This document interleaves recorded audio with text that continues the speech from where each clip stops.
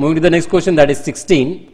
The using double integration to find the center of gravity of area of the circle x square plus y square equals to a square lying in the first quadrant and assume that density is k. Which of the following is correct? तो चार options आपको यहाँ पे दिए हुए A B C D अब इसमें से देखिए करेक्ट कौन सा है अब ये स्टैंडर्ड फॉर्मूला ही है जिसे आपको यहाँ पे याद रखना है यहाँ पे अगर हम चारों ऑप्शन को ऑब्ज़र्व करते हैं तो यहाँ पे हम देख रहे हैं कि जो लिमिट्स ऑफ़ इंटीग्रेशन है एबीसी के वो तो तीनों के सेम है बट डी में बस वाई बार के लिमिट्स ऑफ़ इंटीग्रेशन सेम नहीं है। ऊपर में सिर्फ़ सिंगल इंटीग्रेशन दिया हुआ है। तो ये तो कंप्लीटली रॉन्ग ही होगा मतलब ऑप्शन डी तो रहने वाला नहीं है। बिकॉज़ यहाँ क्वेश्चन में लिखा है यूजिंग डबल इंटीग्रेशन आपको करना है। तो ऑप्शन डी यहाँ पे कंप्लीटली गलत हो गया। तो यहाँ पे आपको दिया हुआ है कि आपको डेंसिटी के एज्यूम करना है। तो जब भी हम इवेल्युएट करते हैं तो उस समय क्या करते हैं, जो डेंसिटी को है, उसको इंटीग्रल के अंदर मल्टीप्लाई कर देते हैं। तो वो न्यूमिनेटर में भी करते हैं और डिनोमिनेटर में भी करते हैं। अगर मैं एक्स बार निकाल रहा हूँ तो। And same is applicable for it is what y bar तो ऑप्शन ए यहाँ पे इनकरेक्ट रहेगा बिकॉज़ यहाँ पे के दिया हुआ है। और अगर मैं मल्टीप्लाई करता हूँ न्यूमिनेटर में और डिनोमिनेटर में तो वो के कैंसिल हो जाता है। तो वैसा अगर आप देखें तो option C is the correct option because B में भी मुझे क्या दिया हुआ it is one by K यहाँ पे। तो option C will be the correct option here जहाँ पे डेंसिटी के है बट वो फॉर्मूले में नहीं आएगा एक्स बार और वाई बार के। Because that get cancel out now moving to the next question that is 17 after changing into the polar coordinates the integral 0 to a integral a minus under root of a square minus y square a plus under root of a square minus y square x y dy by dx changes to जब भी हम coordinate system को change करते हैं मतलब Cartesian two polar तब हम x equal to लेते हैं it is what r cos theta y लेते हैं it is r sin theta और x square plus y square ये हो जाता है r स्क्वायर और dx dy को रिप्लेस किया जाता है r dr और d थीटा से तो यहाँ पे देखिए अगर मैंने x को रिप्लेस किया आर कॉस थीटा से वाई को रिप्लेस किया it is r sine theta से और dx dy को रिप्लेस कर दिया r dr और d थीटा से। तो r into r into r मतलब आर क्यूब आ जाएगा। तो आर क्यूब तो हमें तीनों ऑप्शन में दिया हुआ है यहाँ पे और बाद में मल्टीप्लाइड रहेगा साइन थीटा और कॉस थीटा तो साइन थीटा और कॉस थीटा आपको दिख रहा है ऑप्शन सी में और ऑप्शन डी के अंदर। तो ऑप्शन सी और डी में आपको डिफरेंस क्या दिख रहा है? लिमिट्स के अंदर डिफरेंस है यहाँ पे। ये तो zero to pi by two है, ये तो सेम है। बट जो सेकंड लिमिट्स है, ये हमारे चेंज है। यहाँ पे a to two a cos theta है, ये यहाँ पे a to a cos theta है। तो यहाँ पे हम चेक करेंगे कि सर्कल का इक्वेशन क्या होगा और अकॉर्डिंगली फिर हम लिमिट्स कैलकुलेट कर सकते हैं। तो देखिए, ये जो लिमिट्स है इन टर्म्स ऑफ़ वाई है मतलब ये लिमिट्स किसके एक्स के हैं। That is x equals to a minus under root of a square minus y square to x equals to a plus under root of a square minus y square तो अगर मैंने इस quantity को यहाँ पे लिया तो मैं इसको लिखूँगा x minus a equals to minus under root of a square minus y square इसको हम स्क्वायर करते हैं, ये हो जाएगा x minus a square equals to a square minus y square and that is return as x minus a square plus y square equals to a square तो यहाँ से आप सेंटर बता सकते हैं centre will be is what a comma zero because x minus a तो ए यहाँ पे आएगा, यहाँ पे वाई के साथ कोई भी सब्ट्रैक्शन में नहीं है कॉन्स्टेंट इसलिए ज़ीरो आया। और रेडियस कितना रहेगा यहाँ पे बताइए? Radius will be is what a तो पोलर कोऑर्डिनेट्स में अगर ये सर्कल हम देखते हैं तो ये सर्कल होता है r equals to two a cos theta जिस पर एग्ज़ाम्पल हमने यहाँ पे ऑलरेडी देखे हुए हैं। तो आप इजिली आप मुझे बता सकते हैं कि लिमिट्स ऑफ़ इंटीग्रेशन क्या होने चाहिए? ये रहने चाहिए it is what a to two a cos theta मतलब ऑप्शन सी यहाँ पे करेक्ट ऑप्शन रहेगा। बट एक चीज़ आप यहाँ पे नोट कीजिए। यहाँ पे जब भी हम रेडियल स्ट्रीप लेते हैं ना तो वो ओरिजिन से स्टार्ट होती है। तो यहाँ पे एक्चुअली ज़ीरो होना चाहिए था। ये बाय मिस्टेक यहाँ पे ए आया हुआ है। सो रेडियल स्ट्रीप स्टार्ट होगी ज़ीरो पे मतलब ओरिजिन से कहाँ तक जाएगी? टू वे कॉस थीटा तक जाएगी। और उसके बाद उस रेडियल स्ट्रिप को हम स्लाइड करेंगे from zero to pi by two अगर हम फिगर ड्रॉ करते हैं तो फिगर इस तरह से रहेगा। सेंटर हमारा ए है और रेडियस भी ए है। So this will be it is what radial strip we are having that is from r equal to zero to it is what r equal to two a cos theta because it is equation of circle in polar form और then theta is equal to zero to theta equal to pi by two पे आप उस radial strip को slide करोगे। तो आपको outer limit मिल जाएँगे यहाँ पे। सो आई सपोज़ क्लियर है आपको? चलते हैं नेक्स्ट क्वेश्चन की ओर। 18 one after changing into the polar coordinates the integral zero to infinity zero to infinity e to the power minus x square plus y square d x changes to. अब यहाँ पे देखिए दोनों limit same है मतलब X के भी limit same है और वाई के भी लिमिट सेम है और वो दोनों कांस्टेंट है। तो अगर मैं रीजन ड्रॉ करता हूँ तो रीजन बताइए क्या रहेगा मेरा रीजन ऑफ़ इंटीग्रेशन ये एक्स एक्सिस हो गया, ये वाई एक्सिस हो गया। तो अब लिमिट्स कैसे हैं? X equals to zero to it is what x equals to infinity and y equals to zero to it is y equals to infinity अगर मैं हॉरिजॉन्टल स्ट्रिप यहाँ पे लेता हूँ तो हॉरिजॉन्टल स्ट्रिप स्टार्ट होती है एक्स इक्वस टू ज़ीरो के ऊपर मतलब वाई एक्सिस से। और वो कहाँ तक जाती है? एक्स इन्फिनिटी मतलब ये हो गई मेरी हॉरिजॉन्टल स्ट्रिप यहाँ पे। इसको हमने ले वॉट पी क्यू ये इन्फिनिटी को जा रही है यहाँ पे। और बाद में इस स्ट्रिप को हम स्लाइड करते हैं आउटर लिमिट से। तो स्लाइड कहाँ से कर रहे हैं? वाई इक्वल टू ज़ीरो मतलब एक्स एक्सिस से हम इसको स्लाइड करेंगे। कहाँ तक? वाई इक्वल टू इन्फिनिटी मतलब अपर पार्ट जाएगा। इसका मतलब ये जो हमारा फ़र्स्ट क्वाड्रेंट है, ये मेरा racket is what region of integration यहाँ पे। जिसे मैंने यहाँ पे येलो कलर से शेडेड किया हुआ है। इसे हमें पोलर कोऑर्डिनेट्स में कन्वर्ट करना है तो उसके लिए आपको रेडियल स्ट्रिप लगती है। देखिए हमने यहाँ पे रेडियल स्ट्रिप ले लिया है, जो ओरिजिन से स्टार्ट होगी। तो यहाँ पे बताइए आर का वैल्यू कितना रहेगा? This will be r equal to zero और ये कहाँ तक जाएगी? It is up to infinity तो हम कहेंगे it is r equal to infinity तक। और रीजन ऑफ़ इंटीग्रेशन कवर करने के लिए इस स्ट्रिप को हम स्लाइड करेंगे। कहाँ से करेंगे? यहाँ से स्लाइड करेंगे एक्स एक्सिस से। जहाँ पे थीटा का वैल्यू कितना होता है? ज़ीरो यहाँ पे थीटा इक्वल टू ज़ीरो और कहाँ तक स्टार्ट करेंगे? वाई एक्सिस तक। जहाँ पे थीटा कितना होता है? It is pi by two तो थीटा मेरा पे होगा it is what theta equal to pi by two और साइमल्टेनियसली आप क्या करते हैं? एक्स को पुटअप करते हैं it is r cos theta y को पुटअप करते हैं r sine theta x square plus y square हो जाता है it is r square and d x d y ये होता है r d r and d theta तो यहाँ पे चेक करते हैं कौन सा ऑप्शन करेक्ट है। तो ऑप्शन ए में आप देखिए, यहाँ पे r d r d theta नहीं है मतलब आर यहाँ पे मिसिंग है तो ऑप्शन ए यहाँ पे इनकरेक्ट है। यहाँ पे e t power minus r square है तो ये तो सही है, और r d r d theta भी आ रहा है लिमिट चेक कर लेते हैं ज़ीरो टू इन्फिनिटी ये आर के लिमिट हो गए, और थीटा के zero to pi by two तो option B is the correct option C भी इनकरेक्ट है because zero to pi by four limit दिया हुआ है, और ये भी डी भी इनकरेक्ट है because because zero to pi by four limit आपको दिया हुआ है। तो option B will be the correct option yes moving to the next one that is 19 if rho equals to f of r theta at the point r theta then what is mass देखिए, अगर हम Cartesian coordinates में mass की बात करते हैं, तब उसे हम डिवाइड करते हैं double integration it is dx dy and with rho here अब यहाँ पे जो ऑप्शन दिए हैं, आपको वो पोलर कोऑर्डिनेट्स में दिए हुए हैं। तो जब हम कार्टेशियन कोऑर्डिनेट को पोलर कोऑर्डिनेट्स में कन्वर्ट करते हैं, तब dx dy क्या लिखते हैं? It is what r dr और d थीटा तो ये मेरा रिक्वायर्ड आंसर रहेगा। That is rho r dr d theta तो ऑप्शन बी यहाँ पे करेक्ट ऑप्शन है। तो फॉर्मूला आप याद रखिए। तो इजीली आप उसको रिलेट कर सकते हैं कार्टेशियन कोऑर्डिनेट्स में और पोलर कोऑर्डिनेट्स में। Next question that is 20 after changing it to the polar coordinates, the integral, this given to you, then the limits of r is. तो अभी हमने ये क्वेश्चन सॉल्व किया था वैसे। तो रीजन ऑफ़ इंटीग्रेशन इसका इस तरह था। दैट इज़ पॉजिटिव कोऑर्डिनेट जहाँ पे एक्स के लिमिट ज़ीरो टू इन्फिनिटी और वाई के लिमिट भी ज़ीरो टू इन्फिनिटी है। तो यहाँ पे आपको आर के लिमिट बताना है। तो आर के लिमिट निकालने के लिए आपको रेडियल स्ट्रिप यहाँ पे कंसिडर करनी पड़ती है। तो यहाँ पे देखिए आर कितना है? ज़ीरो है। और ये कहाँ तक जाएगा? इन्फिनिटी तक जाएगा। मतलब आर के लिमिट रहेंगे r equals to zero to r equals to infinity मतलब zero to infinity option A will be the correct option here तो question number 21 integral zero to pi zero to is a sine theta r d r d theta अब इस integral को मुझे evaluate करना है और इसका फाइनल वैल्यू क्या होगा ये आपको बताना है। तो अगर आप यहाँ पे देखेंगे, हम आर और थीटा से इसको इंटीग्रेट कर रहे हैं, जो कि पोलर कोऑर्डिनेट्स है तो आपको एक बात हमेशा याद रखनी है, जब भी हम पोलर कोऑर्डिनेट्स में इंटीग्रेशन करते हैं तो पहला इंटीग्रेशन हम आर से लेते हैं और बाद में विद रिस्पेक्ट टू थीटा लेते हैं। और ये हमारे दिए हैं आर के लिमिट्स और ये थीटा के लिमिट्स जो कि कॉन्स्टेंट है। तो चलिए हम यहाँ पे आर से इंटीग्रेट करते हैं। ये zero to pi as it is रहेगा। आर का इंटीग्रेशन हो जाएगा आर स्क्वायर बाय टू और लिमिट्स हम लेंगे zero to a sine theta और ये आ जाएगा d theta this will be equal to one by two हमने बाहर ले लिया. This is integration to zero to pi a square it is sine square theta minus r is what zero तो यहाँ पे आ जाएगा zero into d theta so a square constant है उसको बाहर निकाल लेंगे. ये हो जाएगा ए स्क्वायर बाय टू और साइन स्क्वायर थीटा को हम लिखते हैं it is what one minus cos two theta by two और इसे इंटीग्रेट करते हैं from the limit zero to pi it is d theta here two को बाहर निकाल लेते हैं, ये हो जाएगा a square by four d theta का इंटीग्रेशन थीटा और cos टू थीटा का integration sine two theta upon हो जाएगा टू और लिमिट हम पुटअप करेंगे it is from zero to pi तो upper limit minus low limit कर लेते हैं हम यहाँ पे। अपर लिमिट पुटअप किया तो पाई आ जाएगा minus sine of two pi ये होता है ज़ीरो तो this will be zero here आपको याद रखना है साइन ऑफ़ एन पाई इसका वैल्यू ज़ीरो होता है। अगर एन का वैल्यू हमारे पास है zero one two three and it is so on देखो साइन एन पाई ज़ीरो उसके बाद माइनस लो लिमिट करते हैं ज़ीरो साइन ज़ीरो भी ज़ीरो होता है तो दिस वॉट ज़ीरो तो वॉट इज़ लेफ़्ट पाई तो फाइनल आंसर आएगा। A square by four into pi जो कि हमारा ऑप्शन डी यहाँ पे दिख रहा है। So option D is the required answer for this integral तो यहाँ पे आपको याद क्या रखना है?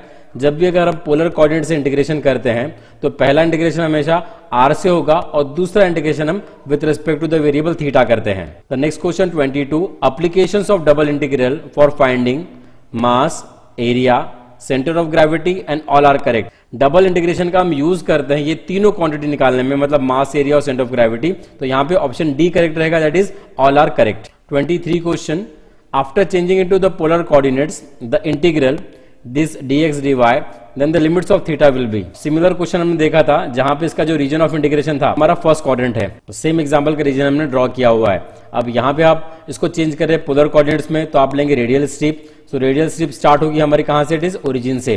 और ये कहाँ तक जाएगी? It is up to infinity तो इसको आपको मूव करना पड़ेगा कहाँ से? इस लाइन से जहाँ पे थीटा इक्वल टू ज़ीरो रहेगा और कहाँ तक मूव करना पड़ेगा? वाई एक्सिस तक मतलब theta equal to pi by two first quadrant हमारा रीजन ऑफ़ इंटीग्रेशन है। इसे कवर करने के लिए हमें जो रेडियल स्ट्रिप है, उसको एक्स एक्सिस मतलब थीटा इक्वल टू ज़ीरो से मूव करेंगे। कहाँ तक करेंगे? वाई एक्सिस तक करेंगे, जहाँ पे थीटा इक्वल टू क्या it is pi by two there we can say that option B is correct that is zero to pi by two Next question 24. For the integral, integration 0 to a. Integration a minus under root of a square minus y square, a plus under root of a square minus y square into a. अब a हमारा ये constant है, a यहाँ पे चाहिए था, a into x square upon x square plus y square d x d y what is the order of integration after changing into the polar coordinates so अगर हम इसको पोलर कोऑर्डिनेट्स में convert करते हैं तो डी वाई रिप्लेस हो जाता है डी आर और डी थीटा से। और मैंने आपको अभी बताया कि अगर हम पोलर कोऑर्डिनेट से इंटीग्रेशन कर रहे हैं तो पहला इंटीग्रेशन हमेशा आपको with respect to the r ही करना पड़ेगा। यहाँ ऑप्शन सी करेक्ट रहेगा, जिसमें हम इंटीग्रेट करेंगे पहले with respect to the r then with respect to the theta and which we have mention here that is option C moving to the next question that is 25 the integral 0 to 2 integral 0 to under root of 2x minus x square x square plus y square, dx dy, is solved by changing into the polar coordinates. The strip for the new limit is vertical strip horizontal strip radial और any of the above तो जब भी हम Cartesian coordinate से deal करते हैं, तब हम वर्टिकल स्ट्रिप या फिर हॉरिजॉन्टल स्ट्रिप का यूज़ करते हैं. बट अगर हम उसको पोलर कोऑर्डिनेट्स में चेंज कर रहे हैं तो पोलर कोऑर्डिनेट्स में हम हमेशा रेडियल स्ट्रिप का यूज़ करते हैं. तो ऑप्शन सी यहाँ पे हमारा करेक्ट ऑप्शन रहेगा, जिसे आपको यहाँ पे याद रखना है. Move to the next question twenty six for evaluation of integral zero to one integral zero to two integral zero to three f of x d x d y and d z it is x d x d y and d z अगर आप देखेंगे यहाँ पे तो तीनों limits of integration constant है। ये limits हो गई एक्स की, ये हो गई वाई की, और ये हो गई जेड की। तो यहाँ पे आपको बताने की पहला जो इंटीग्रेशन है, वो हम कौन से वेरिएबल से करने वाले हैं?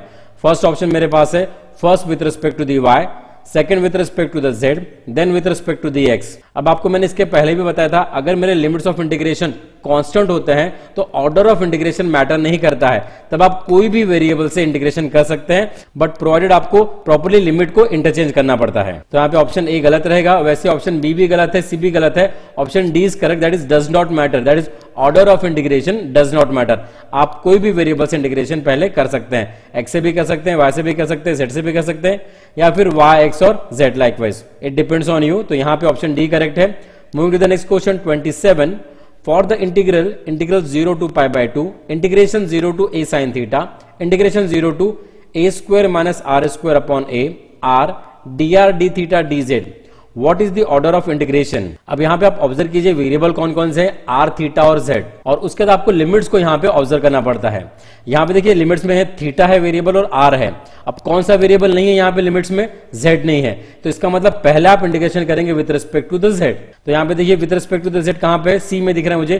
पहले हम करेंगे integration with respect to the z then with respect to the r करेंगे then with respect to it is what theta अब सेकंड पोजिशन पे हम with respect to the r क्यों कर रहे हैं? बिकॉज़ यहाँ पे देखिए, ये जो लिमिट है, ये इन टर्म्स ऑफ़ थीटा है तो ये लिमिट किसके रहेंगे? आर के रहेंगे। इसलिए हम सेकंड इंटीग्रेशन आर से करेंगे और बाद में ये जो लिमिट है ज़ीरो और पाई बाय टू ये कॉन्स्टेंट लिमिट है, जो कि थीटा के है। इसलिए हम लास्ट में इंटीग्रेशन थीटा से करने वाले हैं। तो अगर ऐसा ट्रिपल इंटीग्रेशन आपको दिया हुआ है और आपको अगर चेक करना है कि पहला इंटीग्रेशन हम कौन से वेरिएबल से कर रहे हैं तो आप कंप्लीट लिमिट को ऑब्ज़र्व कीजिए। जो लिमिट में वेरिएबल नहीं रहेगा, उससे आपको पहले इंटीग्रेशन करना पड़ता है। और उसके बाद हम ऑर्डर को डिसाइड कर सकते हैं कि हम और कौन से दूसरे वेरिएबल से उसको इंटीग्रेट कर सकते हैं। तो यहाँ पे ऑप्शन सी करेक्ट है। Next question 28 for the integral minus one to one zero to z x minus z to x plus z x plus y plus z d x d y d z what is the order of integration और फिर से आप यहाँ पे देखिए variable को observe कीजिए।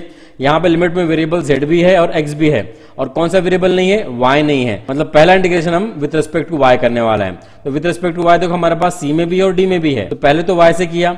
अब उसके बाद देखिए, ये लिमिट्स हमारे एब्जॉर्ब हो गए। अब बच्चे कौन से? ये दो लिमिट और y तो हमारा एलिमिनेट हो गया है। यहाँ बचा dx और dz अब ये जो लिमिट है, ये इन टर्म्स ऑफ़ z है। इसका मतलब ये लिमिट किसके हो गए? एक्स के हो गए। इसलिए हम next integration with respect to the x करने वाले हैं। और लास्ट में फिर हम इंटीग्रेशन करेंगे with respect to the z जिसके लिमिट रहेंगे minus one to plus one तो आपको भी समझ गया होगा कि जो वेरिएबल इस इंटीग्रेशन के लिमिट्स में रहता है तो उस वेरिएबल को छोड़ के हम दूसरे वेरिएबल से इंटीग्रेशन करते हैं। तो इसलिए हमने फिर यहाँ पे एक्स से किया और उसके बाद with respect to the z integration किया हुआ है। तो यहाँ पे ऑप्शन डी करेक्ट रहेगा। Moving to the next question that is twenty nine for the integral zero to one y to one zero to one minus x x plus y plus z d x d y which of the following is true अब यहाँ पे आपको order नहीं पूछा हुआ है। अब आपको बताना कि कौन से लिमिट x के है, कौन से y के और कौन से z के हैं। तो यहाँ पे पहले आप ऑब्ज़र्व कीजिए, यहाँ पे लिमिट देखो किसके टर्म में है? Y और x के टर्म में है। मतलब पहला integration with respect to the z होगा।